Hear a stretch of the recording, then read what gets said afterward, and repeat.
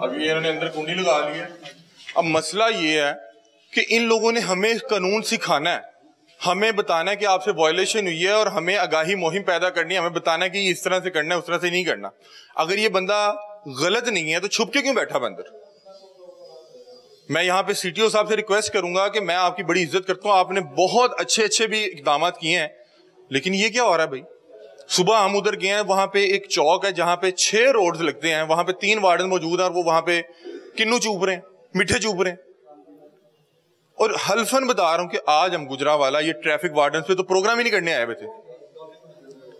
Dolphin वाले देखा तो वो खेतों में बैठे हैं जी असी रो पीन आए थे। असी फ्रेश गुर खान आए हैं। अब उसके बाद रोड पे गुजर रहे हैं तो भाईजान एक बंदे को गले से पकड़ के घसीट रहे हैं।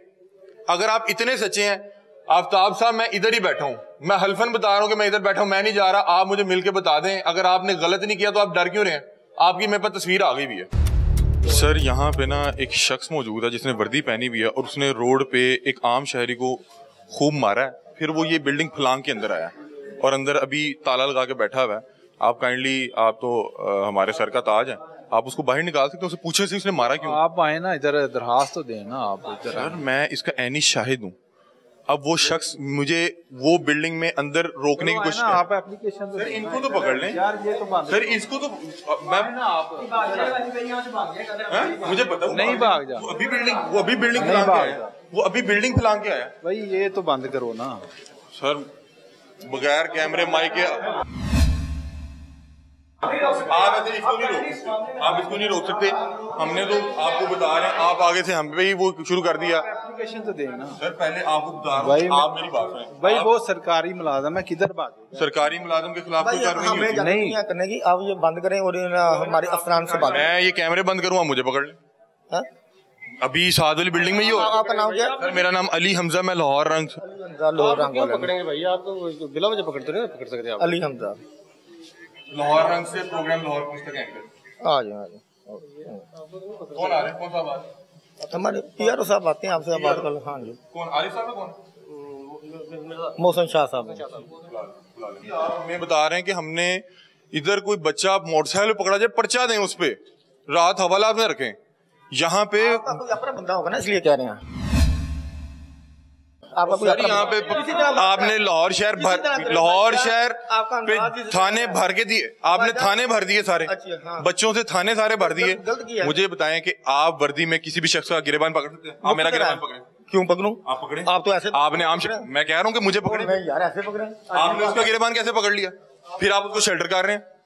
फिर आप उसको शेल्टर कर। रहे हैं आप हमारा भी पकड़े। नहीं शेल्टर आप हमारा भी गिरेबान हम आए हैं ना हम आपसे बदतमीजी करें आप हमारा क्यों? क्यों पकड़ेंगे भाई? क्यों पकड़ेंगे? क्यों पकड़ेंगे हम ले जी नाज़रीन हम यहीं पे मौजूद हैं और हम आफ्ताब साहब से मिलकर जाएँगे कि कैसे एक शख्स वर्दी में ये वर्दी की तोहीन है।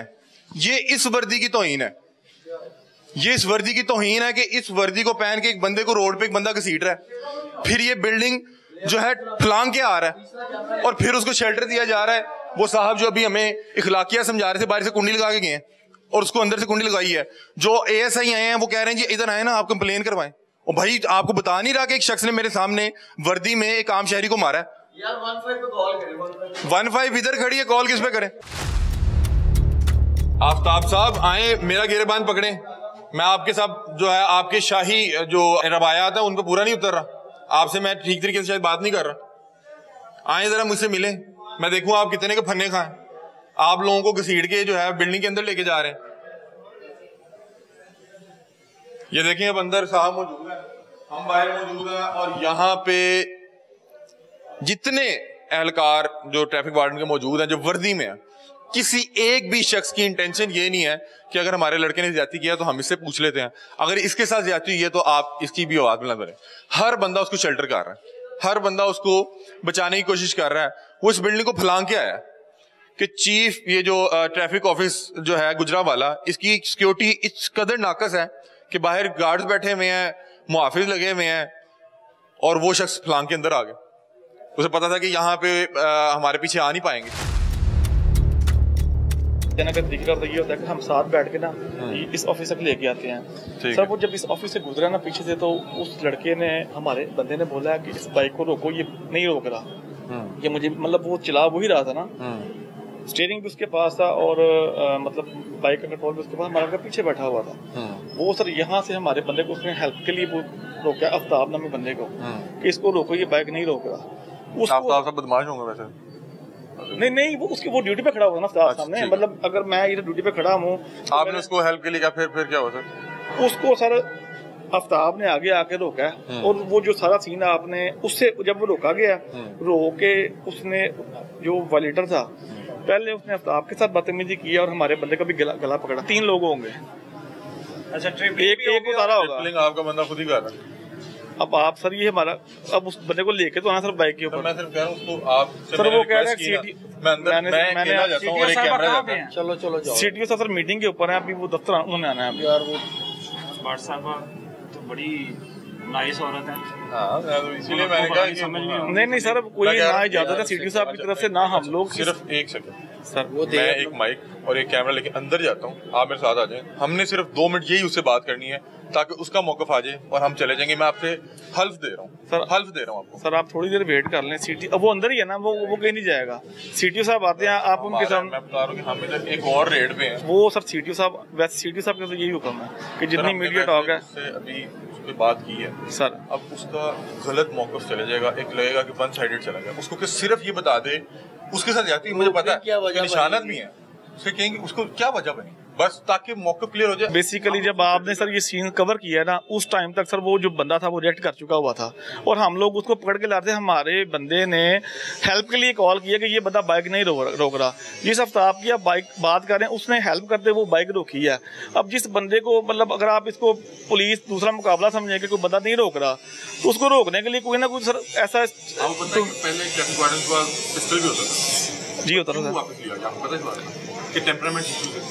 सर इसीलिए सर आप गरीब बंदा नहीं ये बिल्कुल ठीक कि यहाँ पे प्लान क्या गेट से उसका अपना ऑफ़िस सर वो इस सर मैंने आपको बताया कि जब आपने ये इंसिडेंट कवर करना शुरू किया ना तब तक सर ये सारी चीज़ें हो चुकी हुई थी। कैसे बात कि मैं अभी अंदर जाके देखा कि तमाम लोग मेरे खिलाफ के बजाय कि इसके कि हम एक निशानदेही करने उन्होंने कहा जी इन्हें फड़ो इन्हें जान नहीं देना फलाना। नहीं, नहीं, नहीं, आप आप- उसको उसको उसके खिलाफ कार्रवाई करें कि ये आपकी वर्दी की इज़्ज़त है। सर आप बिल्कुल वर्दी में बंदा एक बंदे को घसीट के लेके आ रहे है। देखिए मैं आपको बात बताऊँ। उस बंदे ने अगर आपको गाली भी निकाली है ना और चले जी हम बहुत ज़्यादा आपको मार्जिन देते हुए कि उस बंदे ने ही आपका गिरेबान भी पकड़ा होगा लड़ा भी होगा लेकिन आप वर्दी में सर हमने वाला सर सारा सीन बाद में हुआ है। पहला सीन है कि वो बाइक रोक नहीं रहा। यहाँ पे ना बाहर कुछ सत्तर बंदे थे उन्होंने कहा ट्रैफ़िक वार्डन ने टक्करें भी मारी हैं और गालियाँ निकाली। सर वो सर वो सर, सर वो सारा सीन सर बाद में क्रिएट हुआ होगा। जब उसने बाइक नहीं रोकी उसको ज़बरदस्ती रोका गया। मुझे सिर्फ़ एक मिनट लेते हैं क्योंकि मैंने फिर आगे निकलना है मैं एक और रेड मैं सिर्फ़ ये बात की है मैंने उसका मौका आपको दे रहा हूँ वो कह रहे हैं मैंने सीटी सीटी सीटीओ साहब वो वो नहीं करेगा बात सर आपसे। मैं करवा दे तो आप वो नहीं करेगा। ट्राई कर मैं फ़ोन पे बात कर ले तो मैं फ़ोन पे बात करके चल जाऊँगा। सिर्फ़ एक कॉल कर दे अगर नहीं है तो मेरे नंबर से कर। नहीं नहीं सर मैं अपने नंबर दे देता आफ्ताब साहब अस्सलाम वालेकुम सर एक मिनट सर आप- हेलो आफ्ताब? सर एक हाँ जी। अस्सलाम वालेकुम आफ्ताब चीमा साहब कैसे हैं? खैरियत से? जी सर वालेकुम अस्सलाम। आफ्ताब साहब खैरियत से हैं? आप आवाज़ आ रही है आपको? जी सर आ रही है सर। आफ्ताब साहब पहले सबसे आप मुझे ये बताएँ कि आप ये बिल्डिंग फलांग के क्यों आए और अंदर छुप के क्यों बैठे हुए हैं? सर मैं इस वक्त थाने में हूँ थाने में कार्रवाई कर रहा हूँ। खुलासा लिख रहा हूँ। ये ये था। आप अंदर बैठा हुआ वो जो कह रहे हैं आप ये ये जो अंदर बैठा हुआ है किसका क्या नाम सर मैंने देखा अंदर बैठा हुआ आफ्ताब साहब आप ये अंदर कमरे में नहीं बैठे हुए? सर, मैं इस वक्त थाने में बैठा हूँ, इस्तगासा लिख रहा हूँ। एक मिनट रुके सर, एक, ये आप फ़ोन पकड़े। ये या तो फिर वो बंदा नहीं है। यहाँ पे वो बंदा अंदर छुप के बैठा रहा, डर के बैठा रहा, और हम बाहर थे कि हमने इसको मिलके जाना हमें इन्होंने कहा, सीटीओ साहब आते हैं, आपको मुलाकात करवाए थे। मैंने कहा, आप मुझे उससे फ़ोन पे बात करा दें, अगर वो उसको डर लग रहा है कि कोई खौफ है मीडिया से। अब वो अंदर से फरार हो चुका हुआ है। अंदर तकरीबन तीन से चार लोग थे इस वक्त अंदर कोई बंदा नहीं है। लेकिन अभी भी ये अंदर से कैसे बाँध है? अंदर बंदा कोई मौजूद नहीं है लेकिन ये अंदर से है। यहाँ से पीछे की रास्ता है। सर ये ऊपर से रास्ता है सर ऊपर से रास्ता है। ऊपर से जाके कहाँ पे? ऊपर से वापस उसी दफ्तर में। दोनों दफ्तर इकट्ठे हैं सर। देखिए नाजरीन वो बहरहाल हम ये गेट पे मौजूद थे। ये एक और बड़ी वजह है। ये एक स्ट्रॉन्ग लॉजिक है। कि वो बंदा वाकई ही गलत है, जिसकी वजह से वो पहले वहाँ से फरार करके आया, फरार होके यहाँ आया, और फिर यहाँ से हमें चकमा देके दोबारा फरार हो गया।